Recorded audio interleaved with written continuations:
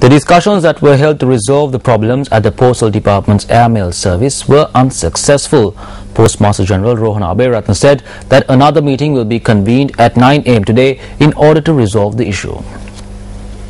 Rohan Abeyaratne said that representatives of the company that has been given the tender for postal services overseas and Secretary to the Ministry of Postal Services participated in last evening's discussions.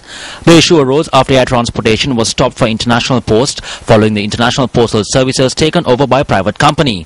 Meanwhile, the Postal Trade Unions Collective said that due to this, about 400 mail bags have been stocked at the Central Postal Interchange.